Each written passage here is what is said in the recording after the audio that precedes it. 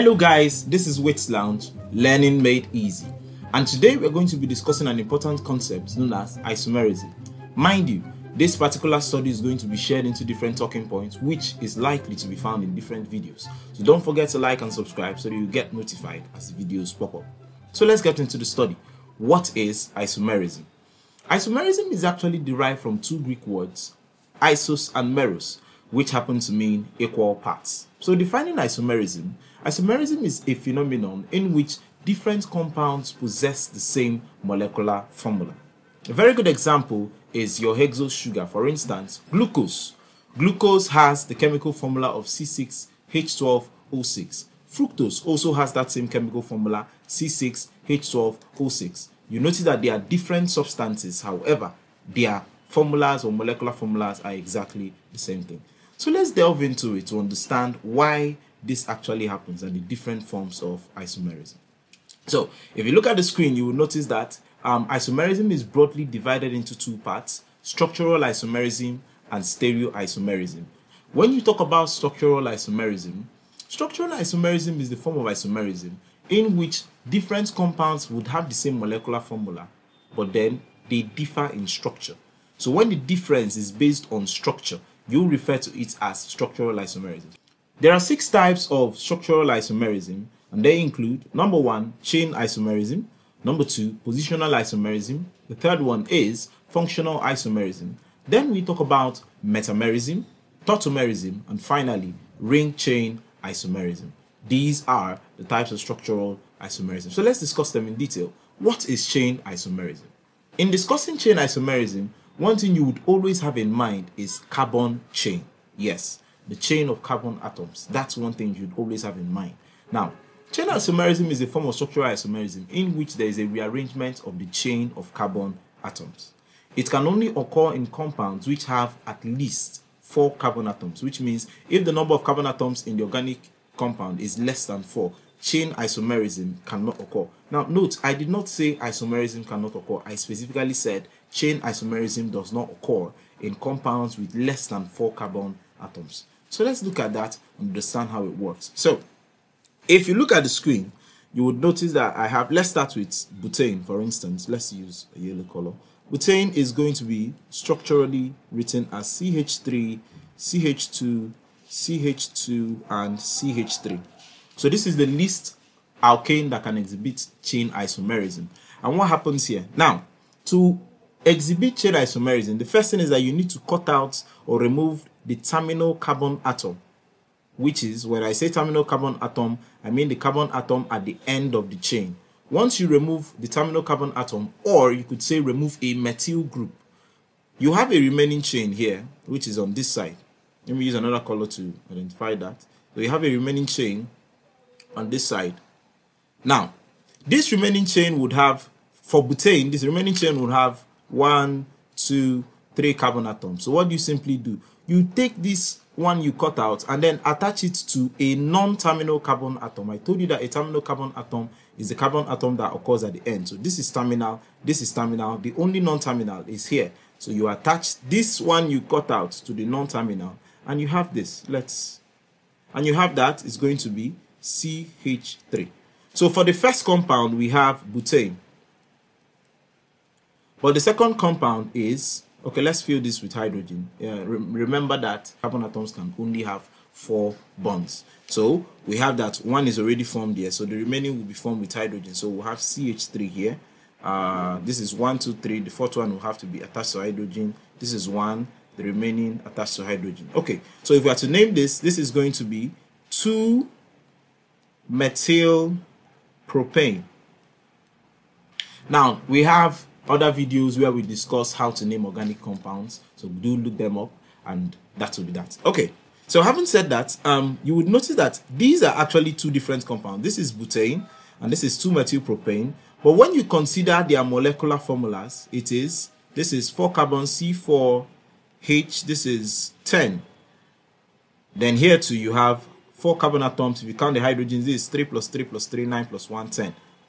And that is an isomerism. So these two are referred to as isomers. It's different substances that have the same molecular formulas are referred to as isomers. So you have that. So you have that chain isomerism is simply reduced by removing a methyl group and attaching it to a non-terminal carbon atom of the remaining chain.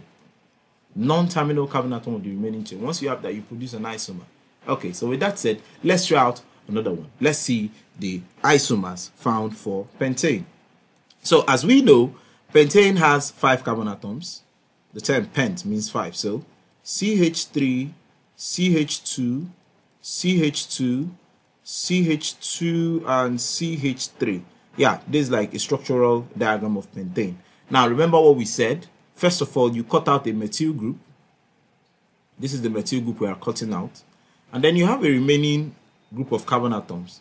This remaining group, you notice that there are four remaining carbon atoms.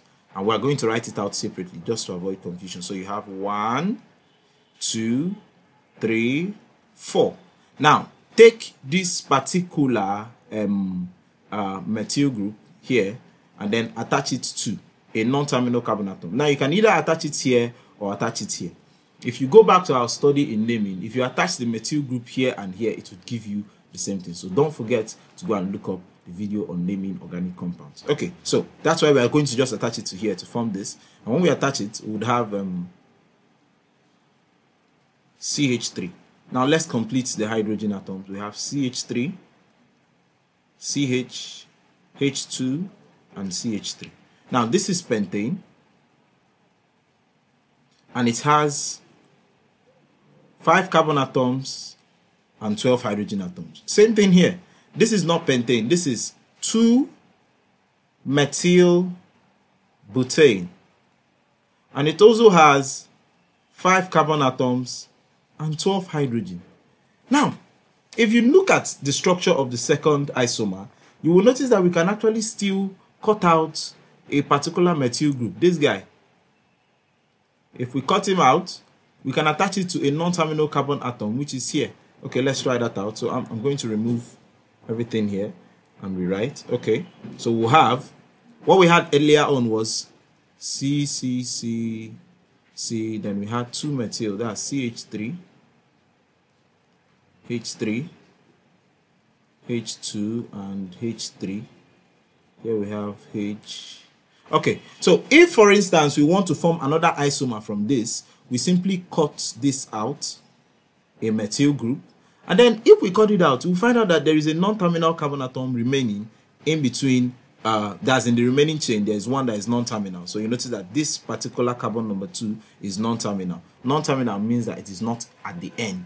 This one is terminal, this is terminal, but this is non-terminal. So we are going to attach this to this guy. So let's get to that. Okay, so um, that will mean that the remaining carbon atoms would be CH3, C, C, and then we had this guy attached here. Now, this particular methyl group that we removed can be attached here. And you have that. Another isomer is formed. If we have this, the name of this compound is going to be 2,2-dimethyl-propane. This is, let's use this. This is 2-methyl butane. Now, but if you consider the number of carbon atoms, you will notice that here we have C5, H12 as the number of carbon atoms and hydrogen. Also here you have 5 carbon atoms and 12 hydrogen atoms, which means that 2,2-dimethylpropane and 2-methylbutane are both isomers. So you have that. Now when you simply cut out methyl groups and attach them to non-terminal carbon atoms of the remaining chain, you actually form an isomer of that substance. Now, there are scenarios for larger molecules where you need to start removing ethyl groups instead of methyl groups. That's when you're dealing with um, up to seven or eight carbon atoms. That's when you start considering removing ethyl groups instead of just methyl groups. So with that, you would notice that pentane has three isomers. And what are they? First of all, we have pentane. Then we have butane, ah, sorry, not butane, 2-methyl butane. And finally, we have 2 2 dimethyl propane. In the case of butane, butane has two isomers. We had butane as an isomer, and then we had 2-methyl propane. Now, in the case of butane, you will notice that when we got to 2-methyl propane, let's let's draw that. Now, if we had decided to remove another methyl group, you will notice that there will be no non-terminal carbon atoms to attach it to. Yes, because this is terminal, and this guy happens to be attached to this guy already, so this becomes terminal. So in the case of propane, once you get to a propane base or a propane level, you find out that there is no other thing you can do. Uh, you can't attach anymore to non-terminal because the only non-terminal carbon atom available is just this particular uh, compound here. Okay, so with that said, we move into the next one. So you guys should try out that of hexane. Hexane should have five isomers, as I said, for those preparing for tertiary institution exams in Nigeria, you would have to note that for alkanes, the number 235. 235 is two isomers for butane, three isomers for pentane, and five isomers for hexane. So find the isomers of hexane using what you just learned, and then post your answers in the comment section. Hopefully, we will look into that.